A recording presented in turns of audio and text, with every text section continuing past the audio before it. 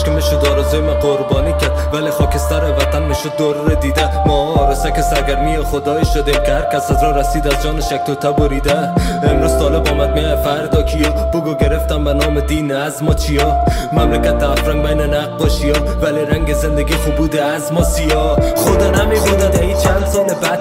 زندگی ما داره کت اوسان فرق ما خو کافرام نبودیم گفتیم الله فقط. ولی آره نسل جوان پر از امثال من. آمدگه پاره بگیرم دد سبزار جنگ.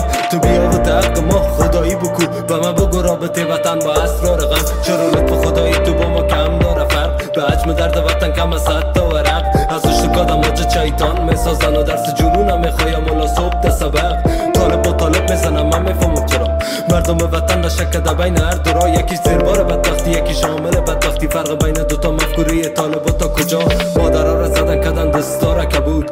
کار کشتن ششتن دستاره دخون که قرآن آمدن با شیطان درون. خدا به این مردم بگو طالب اسلام نبود.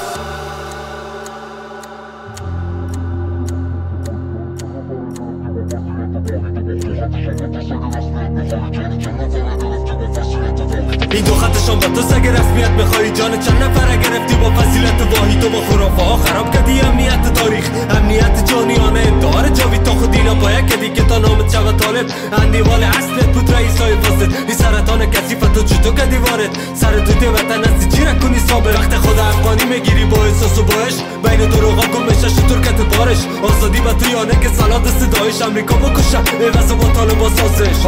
های وطن کده چیچه طالب تربیت سعدی کجاستی که بگی بنی آدم تسلیت من حقیقت ها را می‌کشم از دل ای فرضیه حتی از اون مولای طالب سنبال مرسیه زدن دادن مردم مثل گپ دردیه. قد کردن رششانم به من کار اصلیه. وحشیگری اینا فقط با من میده انگیزه. ما دل نطفه هستیم قندم گپ ترسیه اصالت تک تکشان با حروف ترتیبه. قول چراغ جدو میگه با ما چیا.